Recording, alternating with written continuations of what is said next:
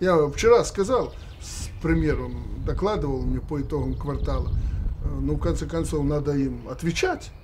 Мы не хотим никакой войны. Экономической, они все. Санкции, европейцы, санкции. Мы введем санкции, и ну, мы ответим.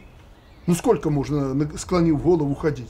Хотят они через э, Средиземное море товары возить туда, на восток, э, в Россию, в Китай, через Испанию. Пусть возят. Я европейцам говорю. Ну ладно, американцы далеко, они всегда умели играть на этом фортепиано. Э, во все войны, наживались за счет этих э, раздраев и драк здесь, в Европе.